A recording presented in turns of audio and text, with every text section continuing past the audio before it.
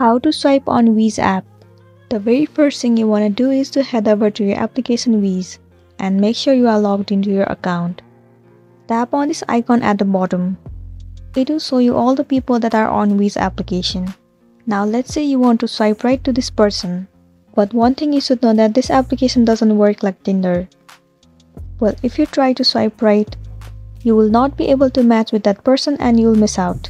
So in order to swipe on Wizz application, what you need to do is you directly need to send a text message to this person.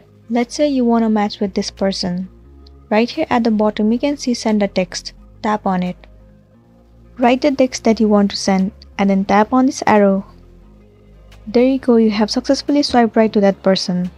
Now you simply need to wait for that person to reply to your text. And then you'll be good to go. Well, this is how you swipe on Wizz.